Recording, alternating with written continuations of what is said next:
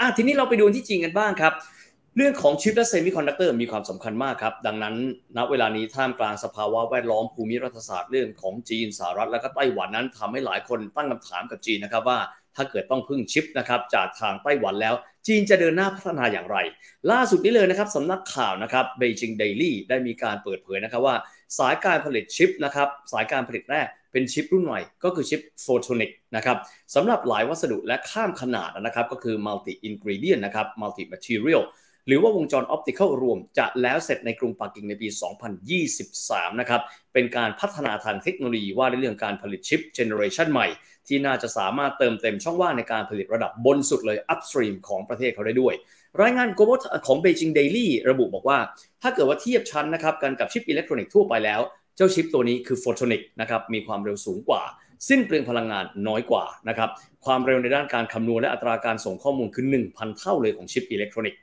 บรรดานักวิเคราะห์บอกว่าถ้าทุกอย่างนั้นเป็นไปตามแผนการอย่างราบรื่น ความคืบหน้าโรงงานแห่งนี้จะเป็นการแสดงเห็นนะครับว่ากระบวนการวิจัยและพัฒนาของจีน พัฒนาไปได้อย่างราบรื่นตามที่วางแผนกันเอาไว้นะครับแสดงให้เห็นทั่วโลกนะครับว่าจีนนั้นมีความพร้อมในการที่จะก้าวเป็นผู้นำด้านการผลิตชิป ซึ่งหลายคนก็ตั้งคำถามว่าจีนไม่พึ่งไต้หวันได้ไหมอะเขาก็เลยบอกบอกว่า photonic นี้เราทำได้แล้ว Beijing Daily ยังได้บอกนะครับว่าบริษัท Sintone เป็นเทคโนโลยีขั้นสูงนะครับของจีนจะเป็นผู้สร้างโรงงานผลิตชิปตรงนี้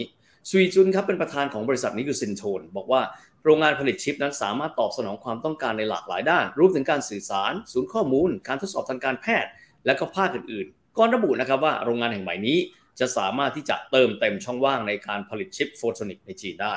ในขณะที่รายงานของหมินเฉิง Securities ในเดือนกันยายนระบุนะครับบอกว่าการใช้ชิป photonic ในจีน ตอนนี้ขยายไปในแวดวงอุตสาหกรรม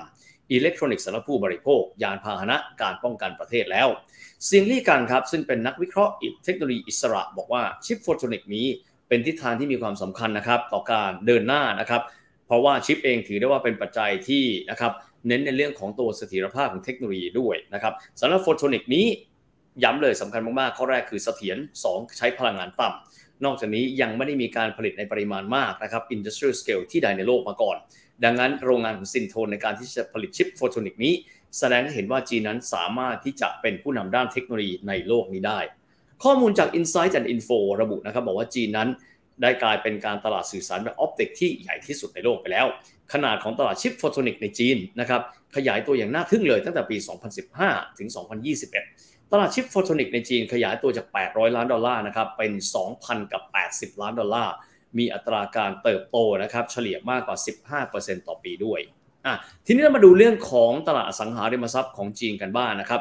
Global Times สื่อทางการจีนได้มีการเปิดเผยนะครับว่าบรรดานายธนาคารหลายแห่งเลยในหลายเมืองของจีนเนี่ยมีการปรับลดอัตราดอกเบี้ยสินเชื่อผู้อยู่อาศัยนะครับสำหรับผู้ซื้อบ้านครั้งแรกนะครับก็คือสินเชื่อ mortgage สำหรับบ้านหลังแรกเนี่ยให้เหลือต่ำกว่า 4%เป็นความการเคลื่อนไหวนะครับที่ผู้เชี่ยวชาญคาดว่า สิ่งเหล่านี้จะสามารถที่จะทำให้มาตรการอสังหาริมทรัพย์ของจีนนั้น ฟื้นตัวได้จากการกระตุ้น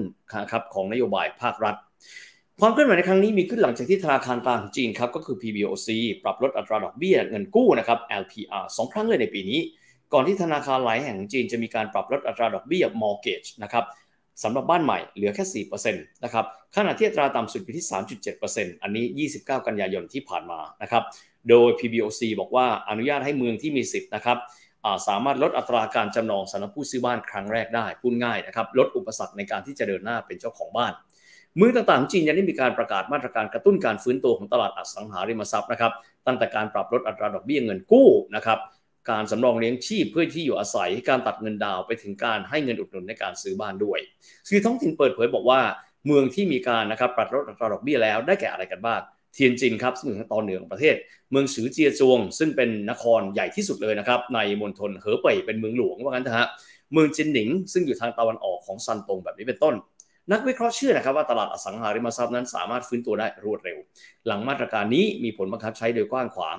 ซ่งติ่งนะครับเป็นนักวิจัยจากสถาบัน China Development Institute ในเซินเจิ้นบอกว่าตลาดที่อยู่อาศัยในจีนนั้นยังคงน่าจับตามองนะครับโดยเฉพาะในปีหน้า ซึ่งมาตรการที่ประกาศออกมานั้นเป็นขั้นตอนระยะสั้นเพื่อแก้ไขปัญหาที่เกิดขึ้นในช่วง 2 ปีที่ผ่านมา รวมถึงการผิดนัดชำระหนี้ของนักพัฒนาอสังหาริมทรัพย์บางส่วน และความไม่สมดุลระหว่างอุปสงค์กับอุปทานด้วยส่งบอกนะครับบอกว่าในระยะยาวแล้วเนี่ยนะครับจีนเองยังคงมุ่งส่งเสริมการพัฒนาตลาดที่อยู่อาศัยให้มีสุขภาพดี ถือเป็นส่วนหนึ่งที่รวมเอาไว้ในยุทธศาสตร์การพัฒนาที่เหมาะสมกับการเติบโตทางเศรษฐกิจของเขารัฐบาลจีนให้คำมั่นในการเร่งจัดตั้งระบบที่อยู่อาศัยด้วยการจัดหาที่อยู่หลากหลายประเทศ การค้ำประกันแบบหลายช่องทางนะครับ ทั้งแบบให้เช่าเพื่ออาศัยและเช่าเพื่อการพาณิชย์ ทางด้านของเหยียนยี่จินนะครับ ซึ่งเป็นผู้อำนวยการฝ่ายวิจัยของ e-house China Research and Development ที่เซี่ยงไฮ้บอกท่าทีของรัฐบาลจีนแสดงให้เห็นนะครับว่าการปฏิรูประบบที่อยู่อาศัยใน 5 ปีข้างหน้า จะมีความสอดคล้องกันนะครับกับการพัฒนาระยะยาวของตัวอุตสาหกรรม และบอกแบบนี้การปฏิรูประบบที่อยู่อาศัยอย่างต่อเนื่องจะคำนึงถึงวัตถุประสงค์ 2 ประการครับ ประการที่ 1 เลยนะครับความมั่นใจในการดำรงชีวิตของประชาชน และการปรับปรุงคุณภาพชีวิตของประชาชนด้วย ในส่วนของการส่งเสริมการเติบโตร่วมกันของภาคการค้า และการเช่าซื้อที่อยู่อาศัย ผู้เชี่ยวชาญเองตั้งข้อสังเกตนะครับว่า